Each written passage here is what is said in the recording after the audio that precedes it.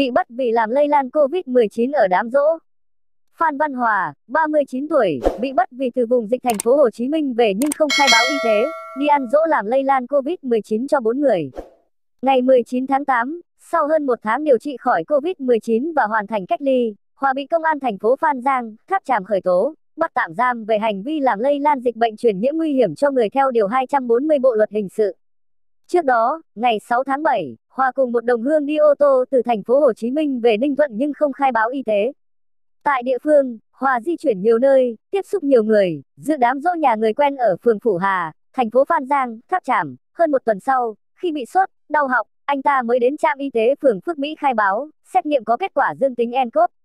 Những người tiếp xúc với Hòa trước đó được đưa đi cách ly, trong đó có 4 người bị nhiễm COVID-19.